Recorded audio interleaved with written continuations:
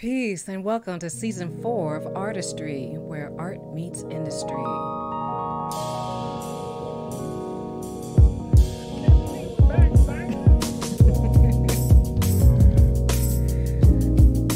right, y'all, folks. Thank you for joining us. We are Rochelle Etienne Robinson and Stan Substantial Robinson.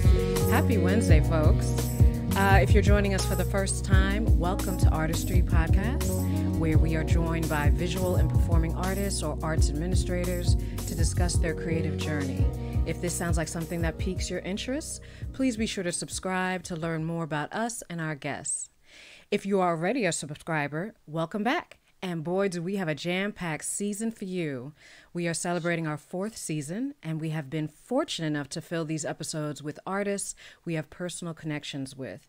And today's guest is no different. Yeah, man. Excited, excited.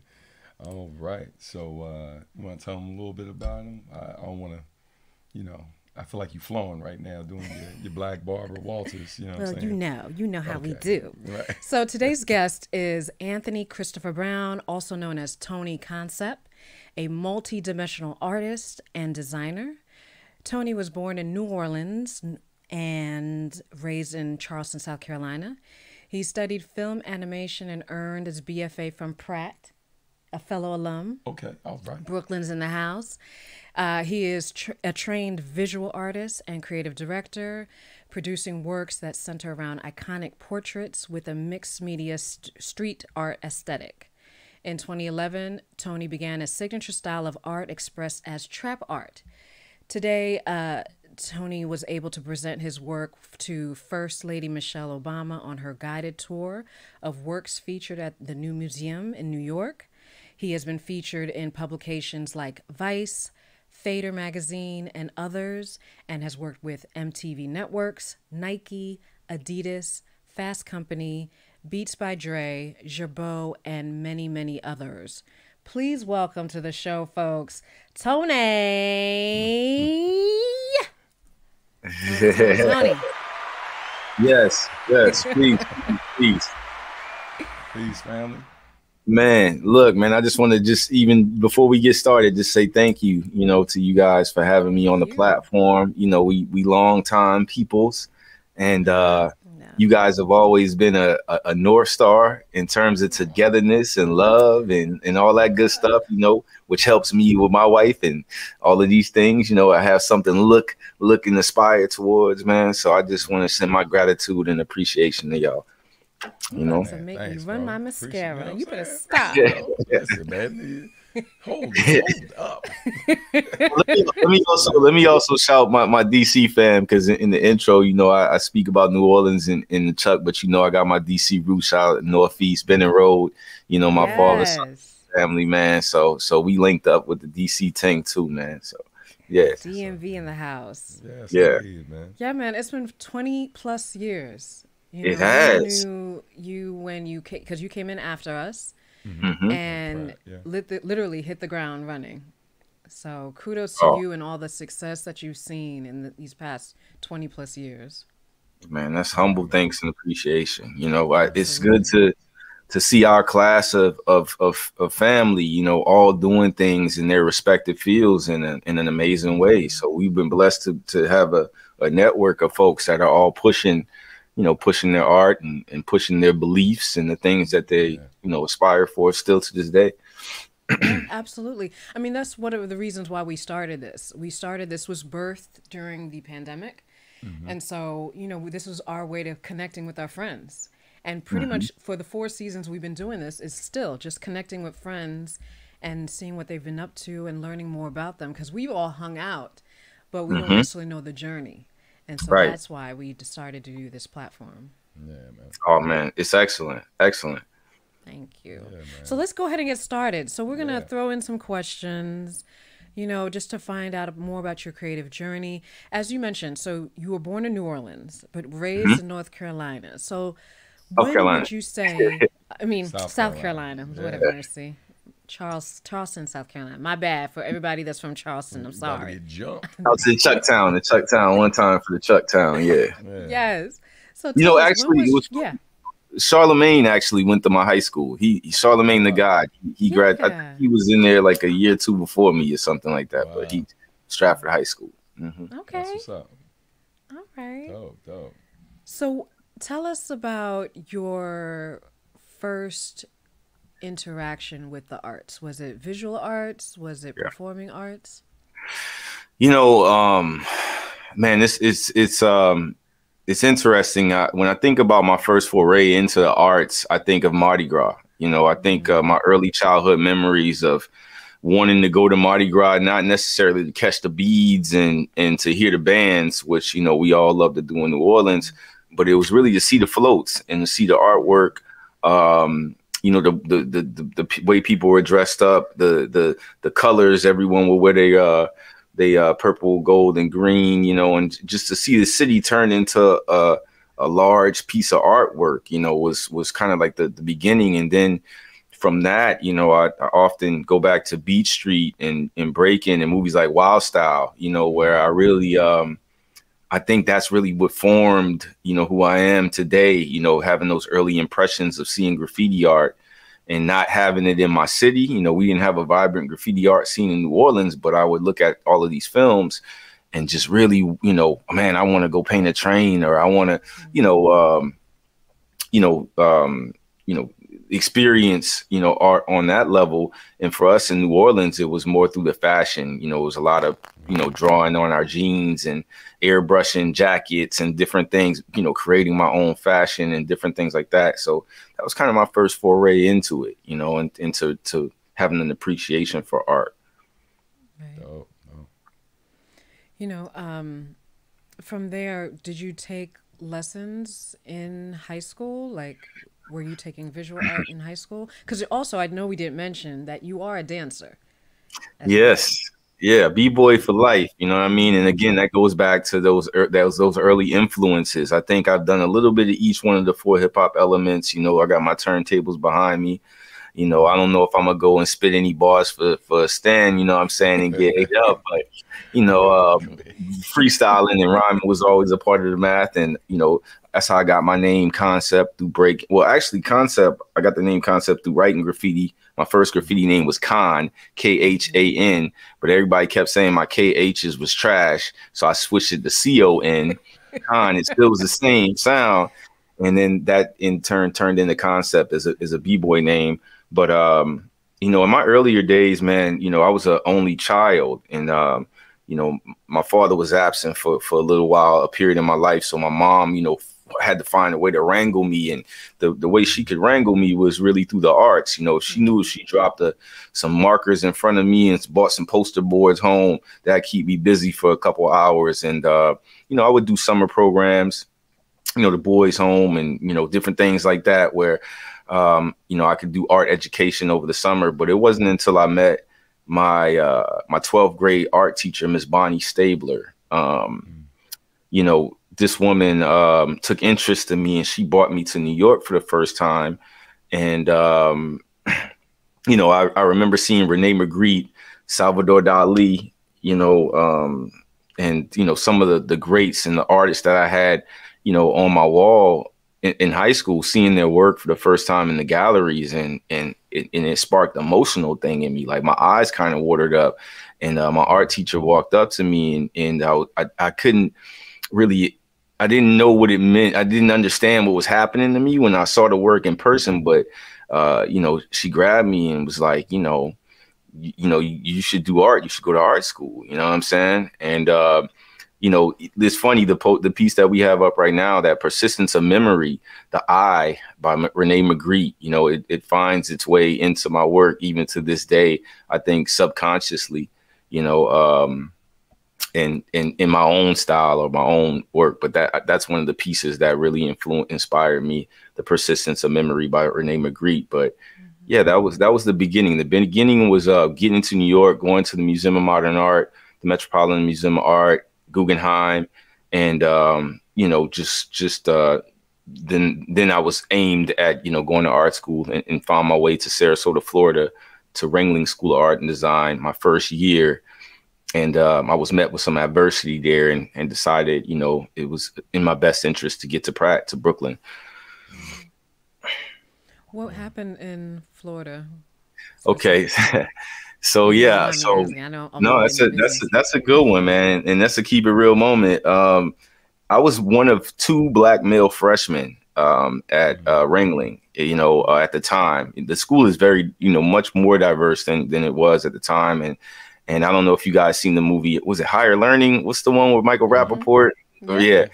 I had one of those type incidents, man. A kid got robbed on my campus because the school was on Martin Luther King Boulevard. We know Martin Luther King Boulevard is notorious for, you know, being our our section of the of the, na- of the world and the neighborhoods. And but the the school told it itself to be on Tamiami Trail, which was a street that was way behind the school. That was what they put their address on. So you know, this kid parks his car and um, and you know he subsequently gets robbed by some guys up up up the street in Newtown. He comes back to the campus and he's he's yelling the N word and he's gonna kill this N word and that N word. You know what I'm saying? Woody Wop hard ER, you know what I'm saying? And um, me being one of the only blacks there, I, I, had to go outside and confront this guy, man. And uh, I ended up confronting him, and security came, and it was a whole thing. And uh, and essentially, what ended up happening was I ended up finding myself on a panel uh, in front of the whole school. You know, what I'm saying talking about race relations and you know having. Um, you know, people come up to me after telling me how well I articulated and, you know, all this kind of nonsense, man. And, uh, you know, it was at that moment that I decided I needed to go somewhere where, you know, I felt the vibe was, was stronger. And, it, you know, I, I had, it, that was the X that marked the spot in terms of my time in, in the deep South, man, you know, coming up in, in Charleston, I dealt with a lot of things along those lines and, and it was time for me to get around a more liberated, um, mindset of people, you know, and I thought New York was the place for me, especially with my love for for hip hop and the things that I wanted to do. I knew I could do them there. So that's just, you know, that's basically what happened. You know, it's funny. It's interesting that you say that because our class, when we came in, I think the first four classes, our class and the class that came behind us, we were the largest black student mm. body yeah. that Pratt had mm-hmm. ever seen. Mm-hmm. know, and and it was a it was a small. I mean, we what made six per, not even six percent and uh, le- it was less, less than, less yeah. than six percent of the population yeah school population but we were all everybody knew each other right yeah oh man it, and it was we everyone connected in a way that you know even in florida you know I, we had cypher 3000 which was like you know me and the, the upperclassmen that were there all of us were in one one you know uh, apartment you know what i'm saying more or less you know but uh when i got to pratt you know meeting, you know, guys um, from the city that, you know, had gotten there, you know, Bone, Will, and all these different Will and uh uh you know Henry Rembrandt and a lot of these guys, man, that were from from the from the soil there, and then folks from DC, my brother Sky, and mm-hmm. you you know you guys, it was it was a it was beautiful. It's exactly what I needed, you know, and uh, I felt like I had the support system even through the Black alumni there, you know. Yeah, yeah, man. Yeah, it was great memories. Yeah, for sure. I, I definitely, um, you know, I think about like the community that we built at the school and like, uh, and you know, and Brooklyn is just one of those places that man is just is so culturally rich.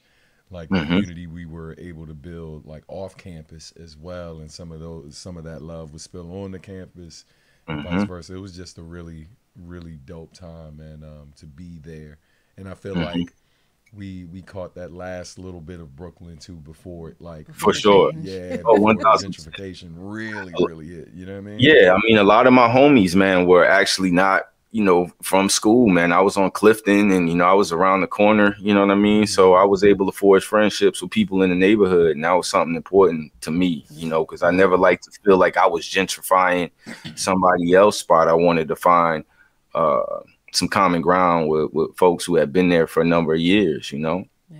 For sure, for sure. Shout out to um, Red Rum Republic, you know what I mean? Yeah, yeah, man. DFD, Spade, salute to you, man. That's all the family, yeah. Yeah, Beef as well, you know? Yeah. My G, yep. You know, so after, so we go, go to Pratt. Um, mm-hmm. You're studying film animation. Yep, um, I was an illustration major um, initially, and then I switched over to film animation. Yeah. So after graduating, what mm-hmm. happened next? What was your Man, first experience? You know, interestingly enough, I, I was in film animation, and I, and you know that's always been a love. I think I had an I, I was an illustration major because I love comic book art and and you know and animation, and um, you know that's how I learned how to draw. You know, drawing characters like Spawn and and you know uh, Image Comics and different things like that, and uh, when I got into the program, I realized like the, you know these guys all want to go to Pixar, and I realized like I didn't have any friends within you know my classes. Like I there was a big disconnect. I was going out and writing graffiti all night and going to class, you know, with my with paint on my fingers and you know kind of not not dialed in. And uh, I, I said, you know, I got to do something that I really want to do, and and uh, I got an opportunity to create apparel at uh, a store called Nubian Heritage down where the Barclays Center is right now. It's right across. And uh, Richelieu Dennis, man, this guy, you know, um, he created um, he created a, a, a, shea butter line that you know now is in Walmart and and you know worldwide Shea Moisture products. And uh, he he gave me an opportunity. He bought me a one color press and I was able to convince my buddy Will Herrera, you know, who's who's doing great, you know, a, a, a brilliant designer now in, in, the world of fashion. I got Will to to come in in the basement with me, and we started printing tees. We created uh, the Make Love brand, and it was mostly uh, iconic, yeah, I- iconic imagery, you know, uh, iconography, just um, pop art, you know, on tees and, and found items and thrift items. And, um, you know, that was my foray into the world of fashion. And, um, I, I, you know, I kind of hit a, a, a, plateau with that and uh, decided to go to Ecko Unlimited. So Ecko Unlimited was the first um, fashion house I went to. Just, you know, of course, my love for that brand. I tried to work for a lot of brands that I always admired. And that was, you know, right up there, being a graph head. You know, it was it was triple five soul Ecko Unlimited days, them days. So, mm-hmm. um, yeah. you know, going to Ecko was like you know the Marines for design. I actually worked with Raphael and Rex Tanghao, two Pratt brothers. Uh, that I actually I used to b boy with Raphael Tanghao, who now I think he's at Louis Vuitton these days. You know, so doing doing really well, and um, I learned a lot from those guys. You know. That's amazing. Yeah, for real, for real, man. It's you know, just, it's, it's like, crazy how the uh, how the journey works and where it leads you, and it's just dope. And then so many names, man, that you threw out there, like some of the home, yeah, in yeah. a while, some of the some mm-hmm. of the homies, you know. Shout out to them. Uh, it's just yeah, dope, just dope to see the journey. But just circling back to hip hop, um, mm-hmm. and the role it's played. Obviously, we we talked a lot about, um, you know, how Graph um, played a major role in your life. Um, but as much as I saw you draw and um, and do graffiti art, you know, like when I think of you, even to this day, of course I know yeah. your art and stuff. I see the AI art stuff you're doing and all of that. But when I think of you, I think b boy first. Yeah. yeah. Day, you know what I mean? Like yeah. And it's just like yeah. You know, yeah. from the time we spent the different ciphers and then um, yeah you know, even at one point in time, man, when I, I remember, dri- oh man, what was that? Spanish Harlem? I drove mm-hmm. you up to, uh, I, or rode with you up, yeah, up there so you could uh, work with the kids and stuff, man. Yeah. But um, yeah.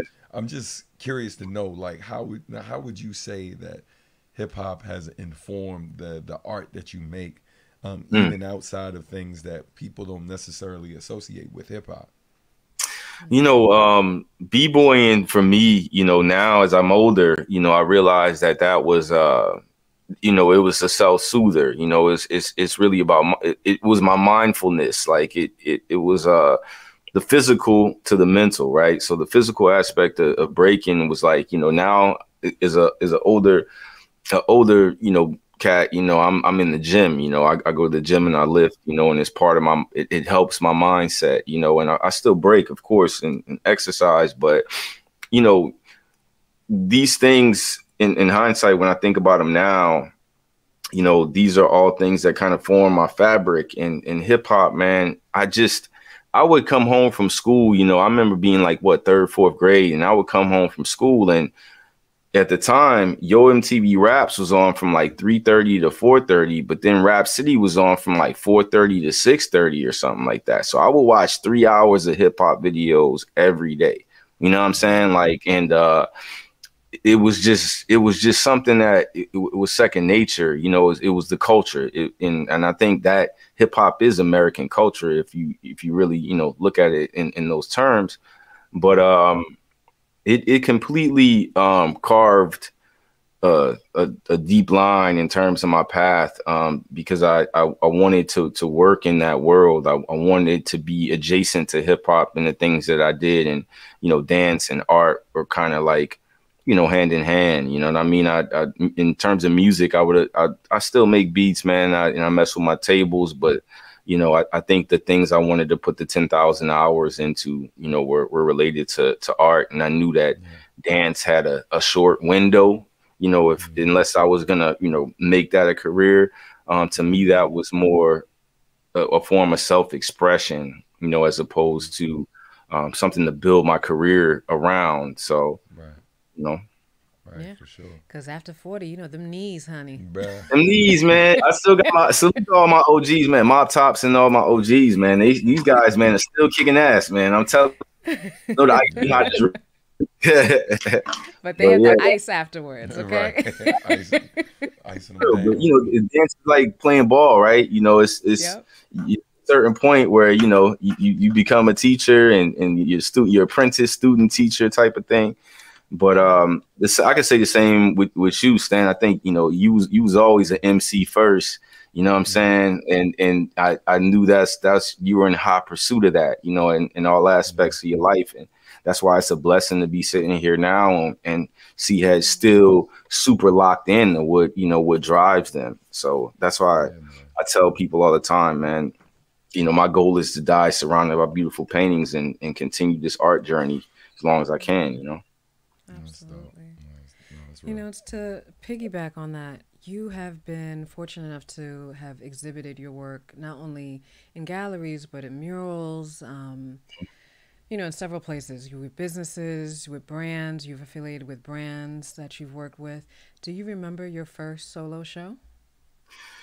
Wow, I think, um, man, this is the Kobe mural. That's with Ash Society and, and Santa Ana here. Um, you know, a lot of brand partnerships and, and working with other companies, man, has always been a way to balance the corporate and the fine art. I think my first solo show, I, I remember just having my first, you know, you know little party at Nubian Heritage, you know, for the release of the apparel, and feeling like I had, you know, I brought my parents or something there that you know, and I and I felt like, man, I'm really, you know, doing what I said I was gonna do, you know. But um, my, one of my first solo shows was was in Manhattan.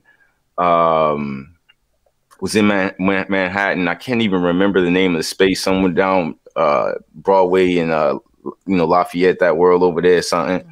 And um, yeah, I, I, remember how naive I was about art. I thought I was gonna, you know, sell one two hundred and fifty thousand dollar painting and just be Basquiat. You know what I mean? My ego was like out of this. I couldn't put a hat on on my head. You know what I mean at the time. But um, you know, that's that's that's always fueled me to to kind of stay in hot pursuit. I've learned so much about the business of art, you know, um, over the years and um, the nuance aspects of it, you know, and how to make money outside of shows and, and how to kind of keep one foot in the corporate world and, and one foot in the fine art world because of it. Yeah. Mm, what would you, you know, because one of the things that we pride ourselves in is, is teaching visual and performing artists, you know, the business of art. Because I think mm-hmm. one disservice that a lot of art institutions do is that they don't pre- prepare students for the business side like one thousand percent forming a contract you yep. know what to ask for because a lot of students you know we came out working freelance yep. we don't know what you know you don't know your, your worth or what you should be you know so a lot of the things you learn from trial and error what mm-hmm. would you mm-hmm. say is your biggest lesson you know my biggest lesson um, i read this book called the e-myth and um, I, I, so I apologize i can't remember the author but anyone you know that's in the business of art or just if you just are in in the business of being an entrepreneur you know um, the e-myth is a high one on my recommendation list. Um, i had hit a point you know where i was only you know selling work sporadically you know and kind of um, you know, hitting pockets where some I'm, I'm waiting for opportunities to come to me. and I really had to get proactive in learning, you know, more. Like you said, we, we're not taught business. I don't know why business classes are not offered, you know, within that art space like they should be. Um, even in the high school level, right? You know, with the with, with that type of education, learning about f- financial literacy and different things. But you know, I, my wife actually got into to real estate she had um, began investing in in uh, Chicago because we live in a very expensive state, Southern California, down here. So it was in our best interest to try to invest outside the states, and I'm gonna just keep it all the way a buck to keep up with her. You know, I had to start reading. You know, else I was getting left at the at the dinner table and not knowing what I was talking about. So, you know, I got I found this book, The E Myth, and um, it it really you know it, it talks about being a uh, a manager, a technician, and an entrepreneur and I would consider myself as a technician where I'm I'm going to quit a job to create, you know, a business, and then I'm gonna work harder than the job that I quit, you know, with limited, you know, uh, gains because I'm just a worker, you know. Yeah. So I had to figure out how to put on my manager hat. I had to figure out how to put that entrepreneurial hat on and come up with different ideas and, and be more um, respectful of time and, and, and management and you know resources. And uh, after I did that, I was able to, you know, kind of diversify and think more about the resources of income and, and different things like that. And, and, and, with my art, I was able to start to go direct to consumer and use these social platforms to sell work and, um, you know, then lead people back to, to my web. And, um, you know, that it's still a growth process. Now I'm in the process of, you know, following in your guys' footsteps, man, just, just creating more content. We're in a space where, you know, being an artist, you have to continually evolve and, and try to find ways to pivot to one stay relevant and you know to two you know kind of stay ahead of the curve.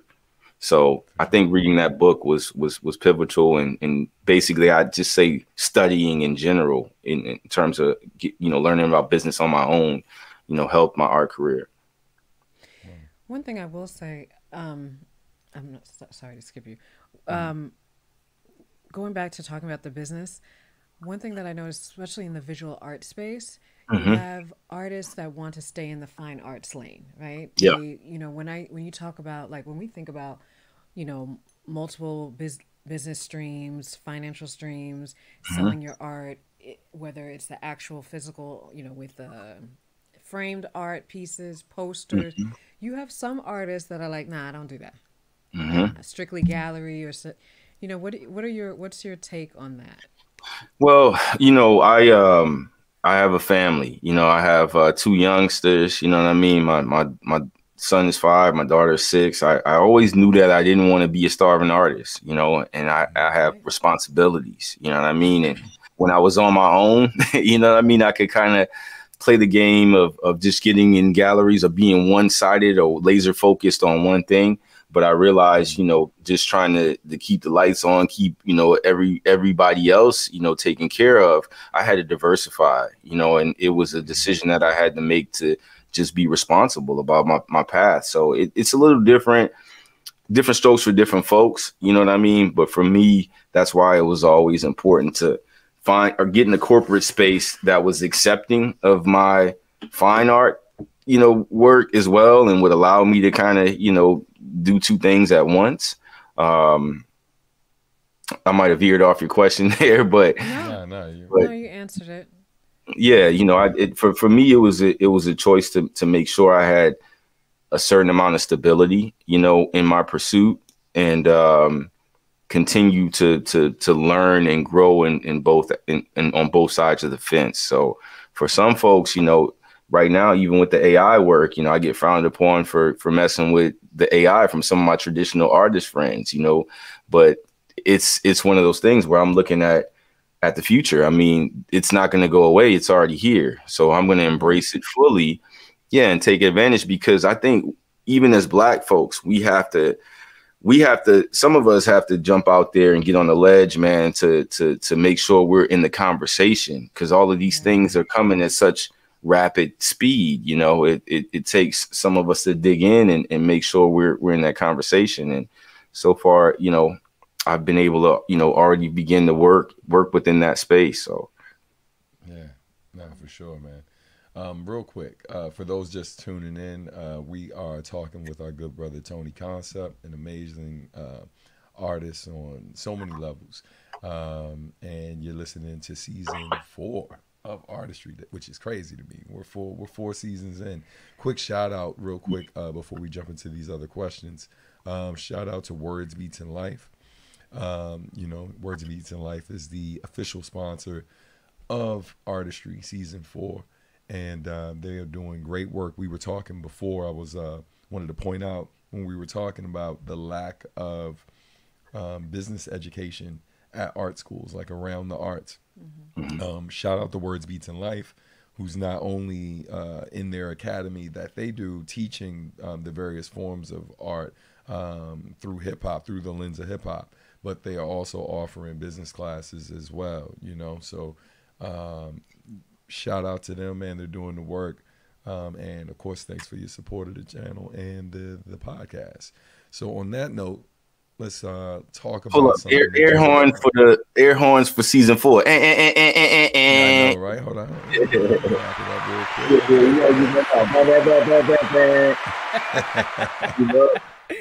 That's fire. Sure. That's fire. Sure. But, but yeah, man. Um, hey, shout out to um, that's what's up. Thank you, Blackheart. Has been a listener since season one. We appreciate the love, good brother. Mm-hmm. But yeah, man. Um, so once again, we're talking with Tony Concep. Um, you know, as a fellow member of the Brotherhood of Fatherhood, um, mm-hmm. you being a father too, I'm always interested to know how um, how fatherhood has mm. changed you as an artist or changed your art. Oh man, I I can't I can't thank the most high enough, you know, for my my kids. You know I mean? Like I, I just, you know, I it, it's the, the, the greatest blessing. You know I mean? The greatest blessing that ever, you know, uh, happened to me, man. And and you know, of course, man, God bless to you and your your your queen, you know, your your beautiful family, man, your queen, and and how you've how you've managed to to keep, you know, your family intact. I think, you know, the, the main thing I could say about how it's affected my artwork is uh, my daughter. As soon as she was born, man, I, I just uh, I brought her outside with me, and I would throw crayons on the ground or, or paint on the ground, and you know, put a canvas up in front of her, and uh, watching her paint, you know, in in her freeness and her just you know her innocence has actually helped bring me back to uh, freeing up myself. You know what I mean in terms of in terms of the work where I was taking things a little too seriously. So, um, you know, she's greatly inspired me and, and, greatly influenced me to look at art. You know, um, in a playful way, you know, and, and and that and I think I was reading in Rick Rubin's book, you know, he opens up his book talking about how, you know, we create in, in playfulness. So sometimes you have to kind of lighten the load. And if you want to be creative, any a, a, a, tip to the creators out there, if you're getting in a slump, just play around with something. You know I mean? Just don't put as much emphasis on what the outcome of something is going to be. Just experiment. And I think that's, you know, a direct result for my kids. Outside of um outside of that, you know, um, you know, I've um I never thought about mortality or anything, you know what I'm saying? Before before I had my kids and mm-hmm. legacy and generational uh curses and all of these different things. I never thought about any of that stuff until, you know, I had these two uh perfect children, you know what I mean? and uh and now um it's made me, you know, it, it's made me far more appreciative and um I think I'm really more inspired by setting up an environment for them to thrive. You know what I'm saying? Like just just for them to walk around the, the the home, you know, and have we have artwork in every corner of the house. You know what I mean? And I, I just think to myself, man, if I could have grew up and just had like a Kehinde Wiley on the wall or whatever, you know, I don't have a real Kehinde Wiley, I got a bootleg one, but you know, right, right. you know what I'm saying? I but, say word nah, yeah, I got, I got I stretched the towel from the from the gift shop. You know what I'm saying? It's a poor man's Kehinde. You know what I mean? But, uh-huh. but so it, it, it feels like a, a, a, real Huxtable vibe, man. Because I know they're getting some culture with them. You know what I mean? And that's very important to me, man. Just to see, even bringing other creative people around them. You know, salute to their godmother Lichi Bond. You know, she. You know, I got people, a little tribe of people that are creatives and can expose them to to you know uh, the world of art in, in a way that I think is going to be very enriching for them, you know? Yeah. And we have a five year old too, so we gotta we gotta Sound get like play, play dates. date, We gotta get what play dates. And you already know they gotta kick it. You know what I'm saying? They gotta kick it. My son, my son Marcy, he's gonna get, try to just get on the, blo- the Roblox real quick. You know what I'm saying? But you know that's his his steez, man. You know he on Roblox. You know, but uh, Our but yeah, my- she's a she's a gamer, and the youngest, Yeah. but she's an artist too. Both of them, they love art. It's it's great to see, like you said, like Right. watching them develop and work on it. Like Mm. Destiny, without even you know guiding her, she's like she stays within the line. She's like Mm. you know she's very meticulous like that. And Mm-hmm. Serenity, like she's doing comic characters in anime Mm. and manga. so- Develop their own style Develop of her- illustration, right. which is crazy. Mhm. Like So Mhm. so watching her go from like mimicking other people's styles to figuring out her own style and like mhm. yeah, it's it's just dope um to see, man. It's like it's like with art, um, you don't always hear people outside of art refer to it this way, but with like amongst artists, it's like when you figure out your style, it's like finding your voice. Y- your language. Mhm. Yeah, yeah. So Mhm. um yeah, man, and real quick, which made me think of um shout out to uh, a really dope um MC who's a professor. Oh my god, I know her name. I'm blacking out on oh Roxanne Sammus. Oh, Uh, Sammus. shout out to Sammus, um, Mhm. who's a professor now, um, I think at Brown. Um, but I took, uh, we were at Blerdcon one year, and um, s- the sister Sammus was talking about something on stage about um, artists and, in particular, writing. Um, Mhm. And she was just saying that because she didn't see herself in certain stories or people that Mhm. look like her, and this all ties in with what you were saying about having that work in your home for your kids to see. Um, Mhm. she was saying that she basically was writing herself out of her own story because she There you didn't go. see, Yep. yeah. And so, Mhm. You know, I pulled my daughter in during that moment, like, yo, you need to Mhm. listen, because this, you know, being in the anime sometimes, you know, a lot of what they're seeing does not look like them. Um, Yep. and so yeah, Yep. just we we made a real conscious effort to talk to her about that and the importance of that as an artist, um, because you know at some point in time, other people are going to be looking at your work, and if you don't, if they don't see a little bit of you in your work, um, it's going to Mhm. be even harder for them to find themselves. You know what I mean? A lot of times, Right. Um, you know, so It, man, Yeah. my my sister man said something. She gave me some game the other day, and she, you know, we was I think we was even arguing about something, and she she made the comment like, you know, this the home is the home is the real world for training the, your kids. You know what I mean? And the outside world is like the fake world, you know, more or less. But this is the real training ground. You know what I mean for for what's outside, and I I really take that to heart. You know what I'm saying? Like. um you know and and and and just to your point what you were just saying man it, it's i worry about that sometimes even being in, in socal which is a little cultural desert you know it's not the same as being in the brooklyn you know in that in that type of vibe man i i try to make sure i give them as much game in, in here as i can you know about themselves and about the creative that's you know kind of feed that creative nature man so salute to your baby girl, man, getting her. Man, we, we need some, you know, we need some more designers, man. We need to take manga over, you know what I mean? It's that's the plan. That's the plan on scholarship. right, right, that part too. You're Manifesting it. That's happening. It's already in the in the, book. right, we claiming it. Yeah, man. Um, you you spoke about like um developing your style, and Mhm. so well, let's talk about trap art. How did that come Mhm. to be? You know, um, you know, trap art, you know, is um growing up in the Carolinas, um, you know, I um I think it's my, my, my growing up in the Carolinas, um, you know, I, I was connected to a whole populace of folks, you know what I mean? And my, my homies and my friends. And I always felt like, uh, you know, tethered to a world that was different than the world of, of the, the art world and contemporary art and different things like that. So I always felt like I had a responsibility to represent, you know what I'm saying, for my homeboys and my partners and different things like that. And, um, you know, the trap lingo, the the the the word the trap, you know, I could easily say, you know, uh I was raised in and around. you know what I'm saying? Mm-hmm.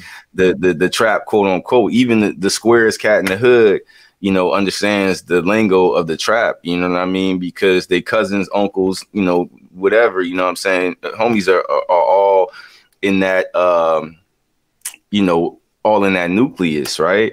So I just wanted to paint iconic images and do iconic images that I wanted to see in the gallery that I never thought, you know, were represented. Like I was like, you know, I think it started off with um, you know, Lisa Bonet, you know, like um and and you know, I was like, well, if Andy Warhol has, you know, uh, Marilyn Monroe. We got Lisa Bonet. You know what I'm saying? Like that's like our like our link. This is probably you know before Beyonce or whatever. You know, we have our own cultural icons that mm-hmm. are big and, and have great meaning to to us, our aunties, grannies, and and the like.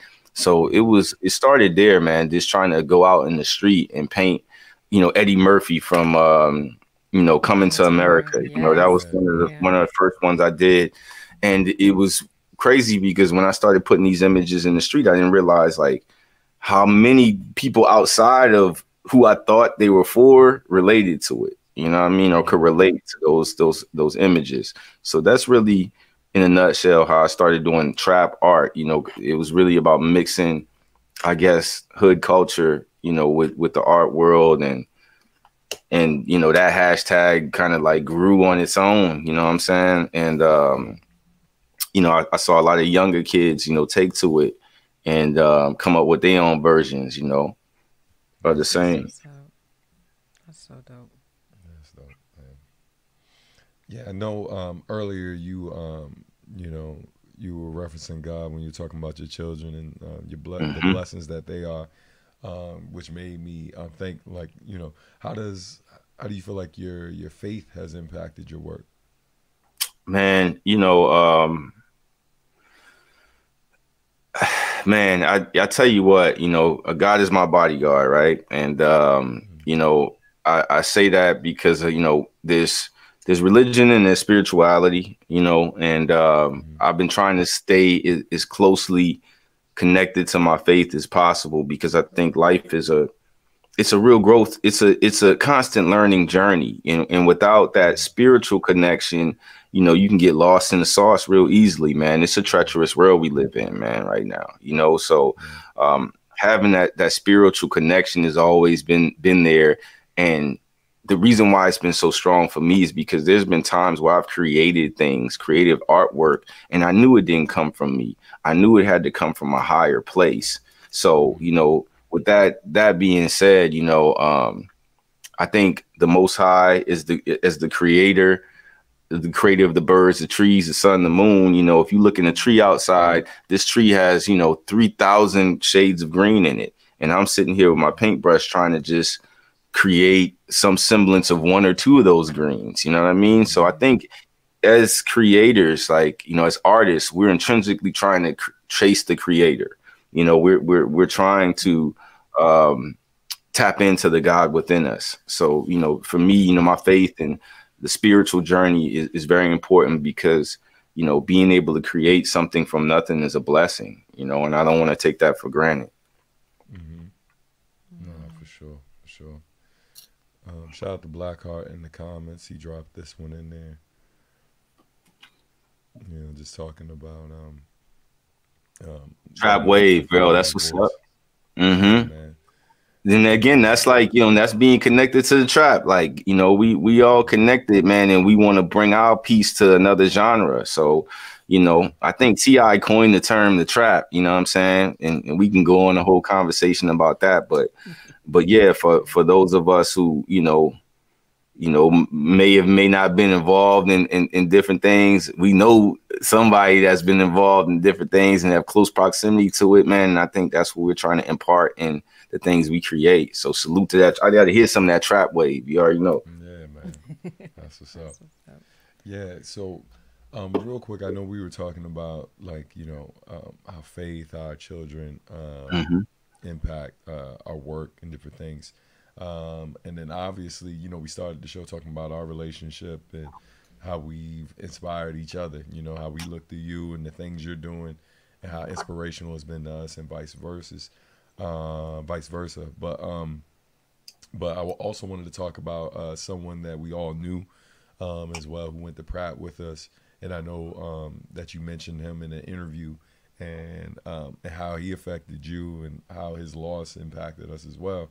Um, but yeah, if you could speak a little bit about Rob, about Rob, Rob yeah. Jones, if you don't mind, you know what I mean? Man, man, Rob Jones, blessings all the way, man. So, uh, just to give context, you know, my my brethren, uh, Rob Jones from Inglewood, Inglewood, California. You know what I'm saying? Uh, you know, he, he was affiliated, you know, to some degree, you know what I mean, in a whole nother world. And, and he made his way out of that world in Inglewood and, and, and found his way all the way to Pratt Institute.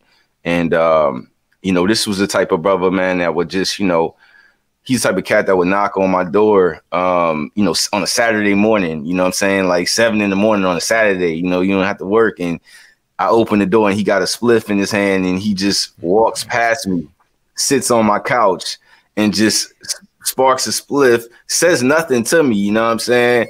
I mean, I get in the bed, put the covers back over my head. Then his hand come, I grab the spliff and we smoke.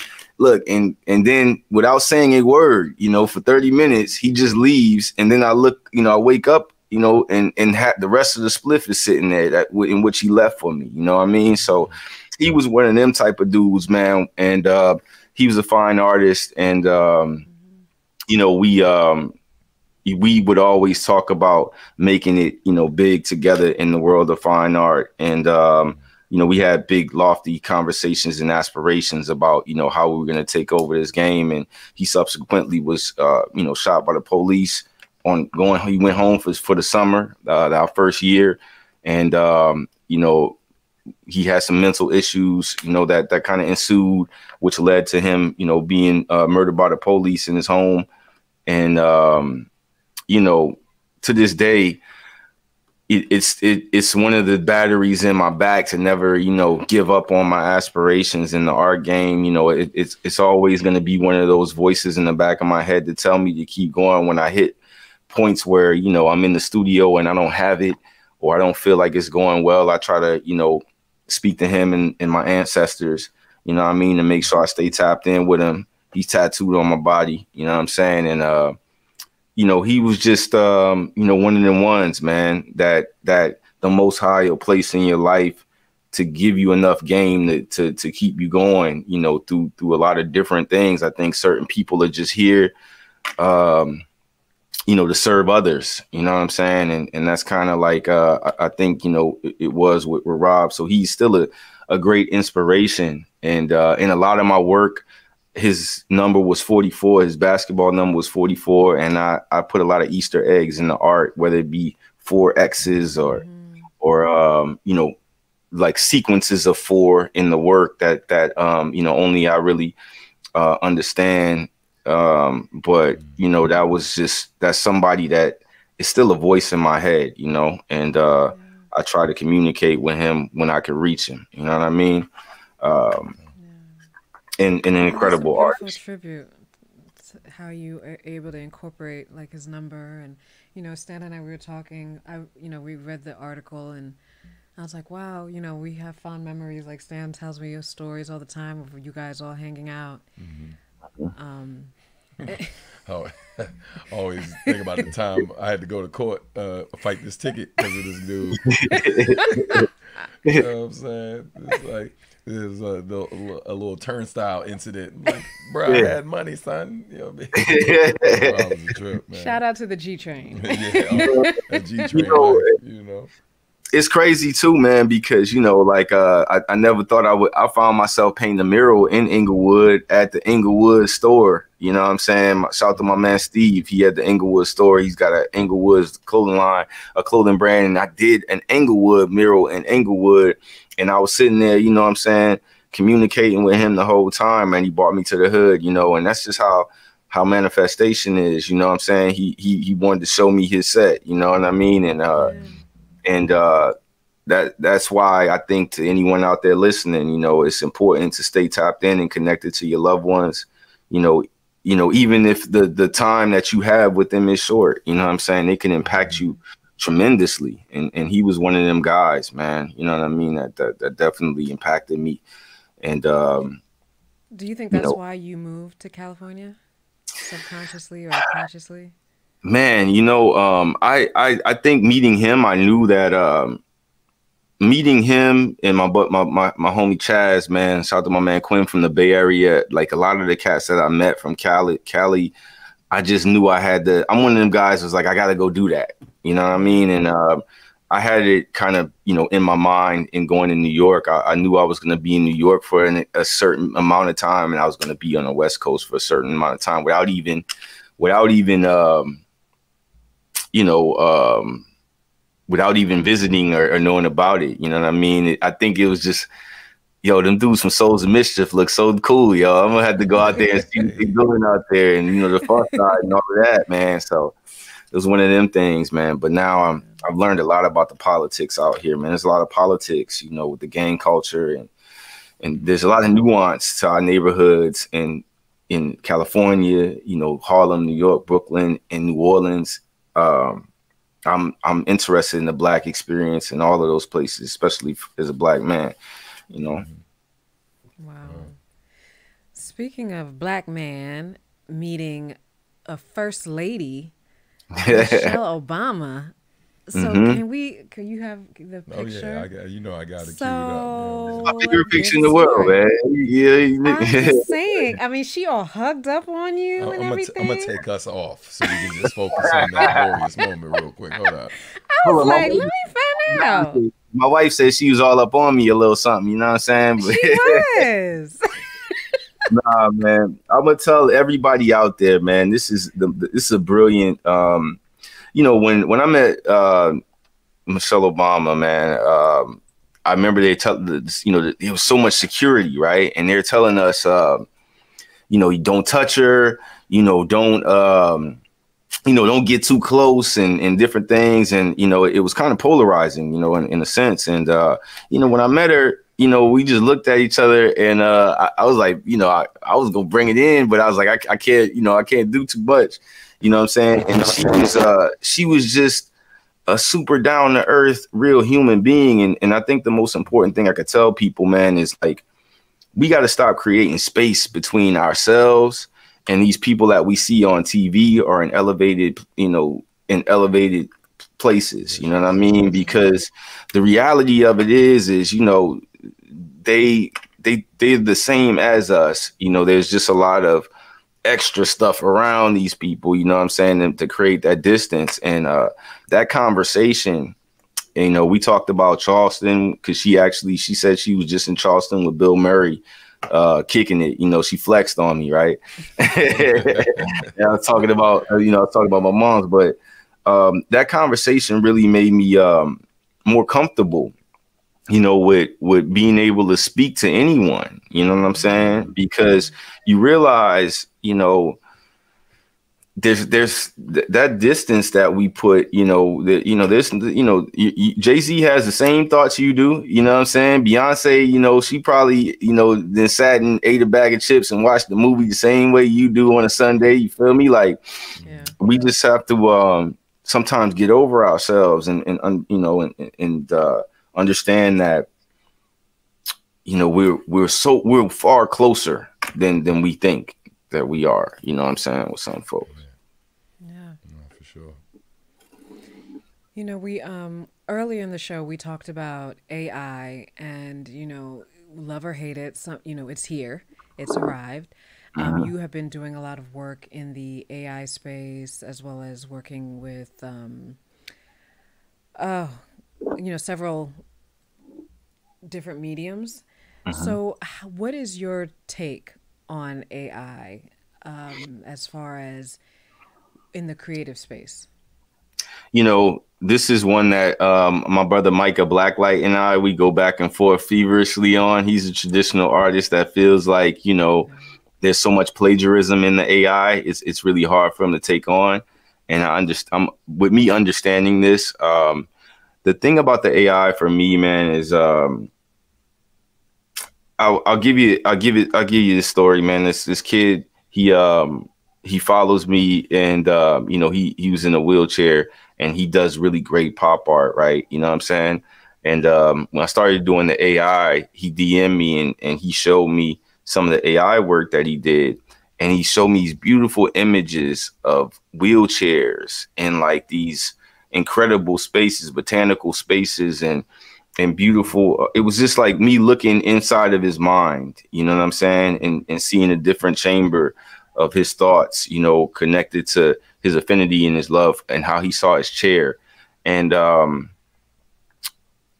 to me, that is what's interesting about AI. It's it's allowing people to go deeper into their creative pockets. It's allowing people to um, express themselves in ways they were incapable of, you know, due to either resources or like, uh, you know, learning or ability, you know. But at the same time, it's like when Fruity Loops came out or when, you know, the beat machine came out and now you're starting to see less people playing instruments, you know. Um, it's a logical progression I think you have to be morally responsible with it.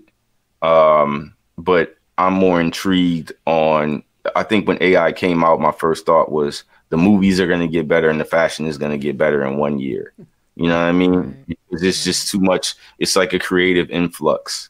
So I'm on the fence in terms of using it as a tool, you know, and calling it my personal artwork. But I I am in alignment with it as using as a, a, tool of exploration, and that's where I've been having the most, you know, fun and and uh, the most um, doing the most interesting work, you know, exploratory work with it, and you know, working with some some brands. And I'm I actually working on a really big project right now. I'm excited about, um, you know, just because of, you know, taking the, the leap and trying to learn how to you know use use the platforms.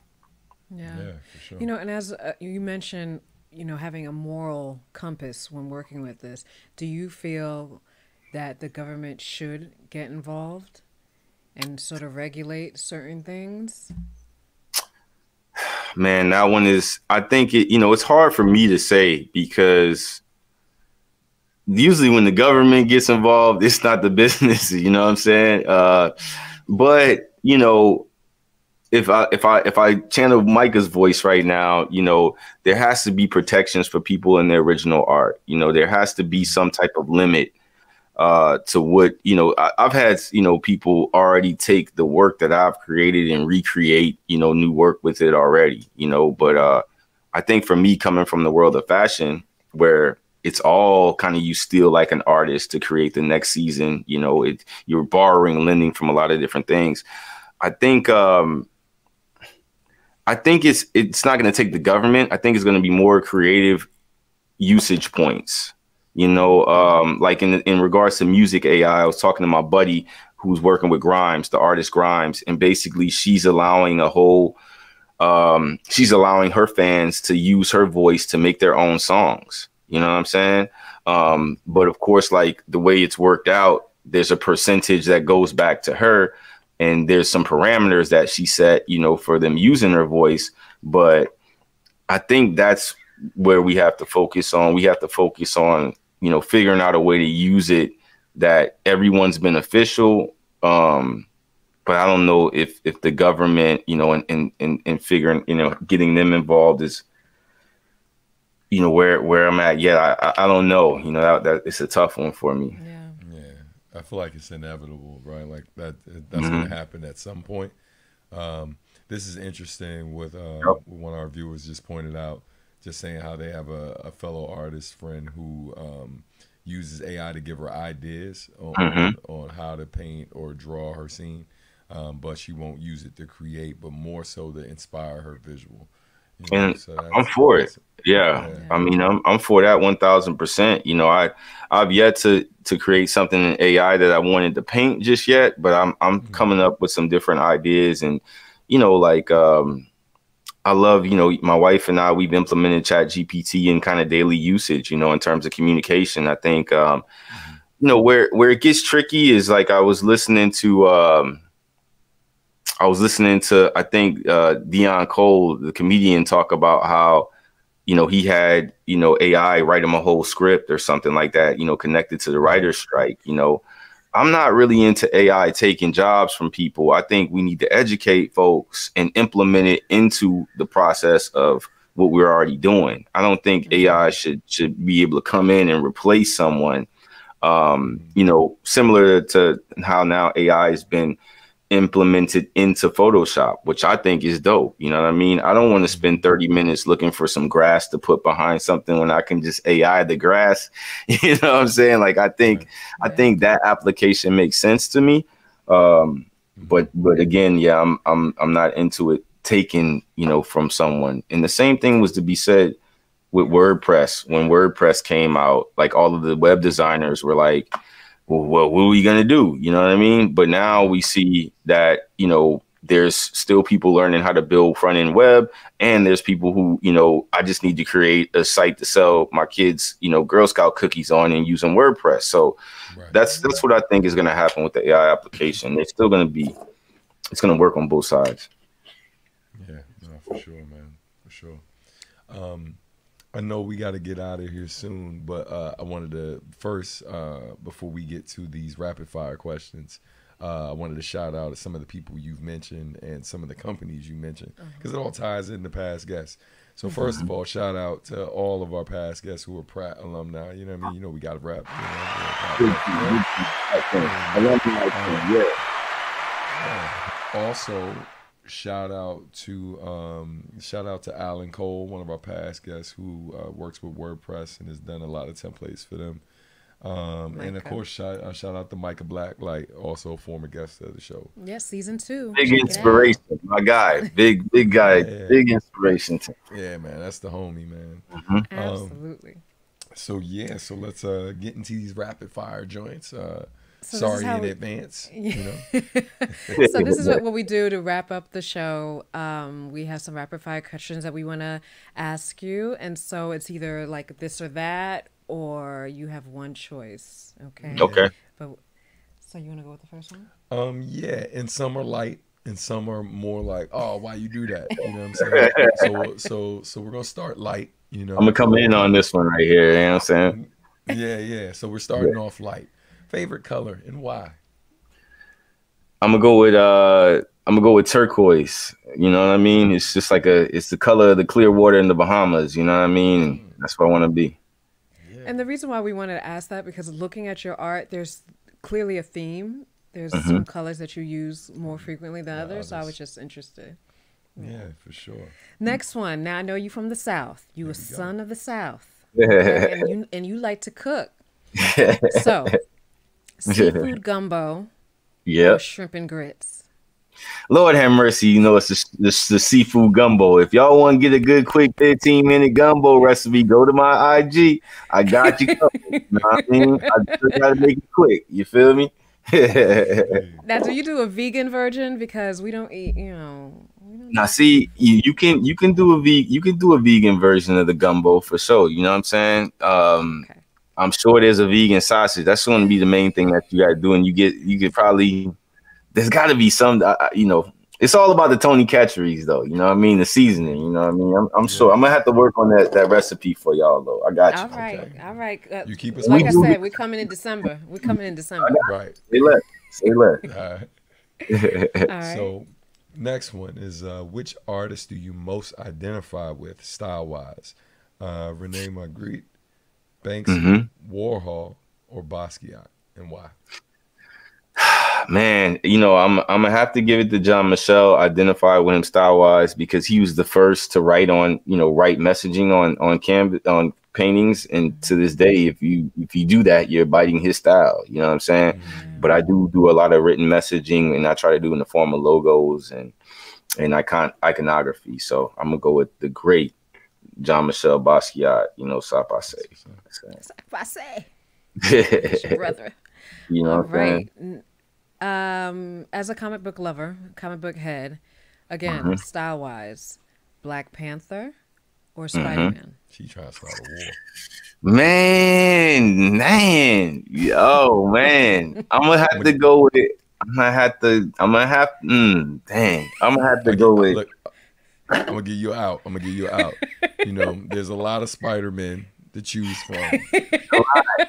Spider Verse. I'm gonna just go with the Spider Verse just because uh, look, look, I'm gonna have to go Spider Verse, man, because that was my. I was, I was, yo, I was. My my son right now would smack me if I don't say Spider Man. So you know, what I'm saying I got. He got new Spider Man's coming out. It's out today. today no, tomorrow. Tomorrow. tomorrow. Yep. Yeah. Man, Miles, man. You know what I'm saying? That's Miles what it Morales. is. Yep. All right, last All right, one. Last one. Here we go. This is for uh, the dancer in you and music okay. So house music. So here your choices are deep inside or mm-hmm. or follow me. I'm gonna go with deep inside. You know what I'm saying? Because deep inside is gonna put me in the back by the speaker, you know what I'm saying? Mm. In in my bag where I'm I'm not worried about nobody else, but follow me, I'm I'm holding hands with everybody, you know what I'm saying? And we we getting it in together. But deep inside is more my bag because I like to get tucked away and just get really into the music, man. It's one of the ones. Um let me give one thing before we go, man. I gotta tell you, man, one of the illest things I ever seen in my life I can't remember if this was this was your birthday or whatever it was, and I don't remember where we was at. But Stan wrote a rap for you that was like, I think he spit this. I, I can't remember where we was at. I don't know if it was your born day or was or what it was, but you know, this is probably before y'all was like married or whatever. You know what I mean? Mm-hmm. But when I he spit this rap for you, and I, I feel like everybody in the joint, like they might have teared, like warded up or something like that. But when I saw that and I heard what he said to you, and I saw I, I was looking at you know you and and and I, I saw his sincerity, you know what I mean? It stuck with me to this day. You know what I'm saying? Like that's the way I said, man, that's the way I want to, you know, um, covet my queen. You know what I'm saying? And I think Stan, you a teacher, and I salute you for for how you you know you build your family and to see y'all together doing what you do right now. That's what life is about more than the monetary and all this other things that we yeah. we have. Man, I think that's one of the most important. That finding that connection. I'm thankful to have that connection. You know what I'm saying? Even though. Um, my old lady probably say I get on her nerves. You know what I mean? I'm I'm I'm thankful to have that but but I definitely look to you, man, for for uh, uh you know the way you move, man. So I salute you and, and God bless y'all to y'all foundation. You know I mean? I had to I had to tell that. I wish I knew the, the venue and I can't remember, but I, I just remember that's one of the memories in my my mind that stuck out, man. And you know, appreciate thank, it, we appreciate that, and we receive that. Thank mm-hmm. you, we, and we still together. We still there you he go. ain't gotten hey, tired of me yet. Let, let, me tell you something. I don't even know if I told. I don't even think I told this to Shell yesterday. Man, I was so ready because when the tour ended, man, um, you know, I've been on tour since like May fourth. Just got I home yesterday around eleven. Yeah. While I was at the airport um, while I was at the airport, they offered like three or four hundred dollars to um to take a later flight. And it was mm-hmm. like just an hour later, but a couple hundred yep. dollars. Yep. They come back through and they was like, man, now we got five hundred. Oh, they up in the ante. Uh, catch this five p.m. Right. By the time I got on the plane, they still making offers. Fam, they yeah. like fourteen hundred dollars yeah. For you to catch yeah. the 7 p.m. joint. Yeah. Right? I was so ready to see my family, bro. Yeah. That I, that's what it is. Like, that's good. what it is. That's what it is. And, and clear, let me be clear though. I ain't faking like even off the tour with the money in my pocket. I can use some more bread. I already know. I already but, know when you were saying about like you know money aside and what's really yep. important, like y'all was ready to see my man. family. Like man, you, you could be thinking to yourself, man, I, I, could catch the kids before they go to sleep or whatever. You know what I'm saying? Like that's what it's mm-hmm. all about, man. Yeah, you know what I mean? So salute to you for that. And you know, if you would have got the bread, you would have had to spend it on her anyway. You know what I'm saying? I mean, so you know, this this is what I'm saying. Thank you. You're gonna be all right though, because you know, taking the serious women in hip hop joint on Sunday night. Yeah. There you go. With MC Lyte behind me. Man, Lyte, yeah. man. Yeah man, I wanted it, man. Lyte had the ill. She had the cut. She had the the yes, steam. that mushroom, honey.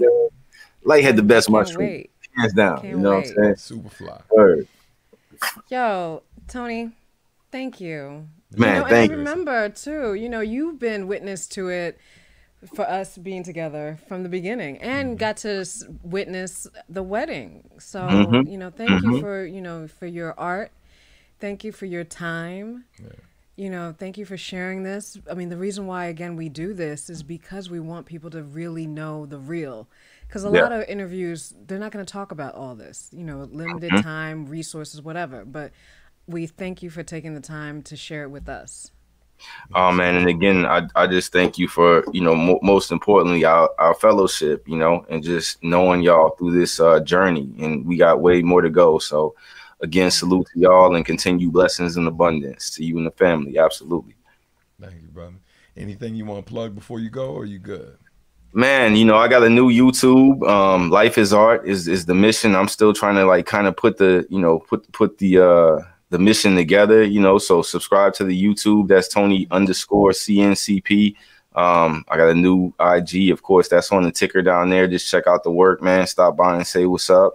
Um, and yeah, man, that's it, man. Life is art, man.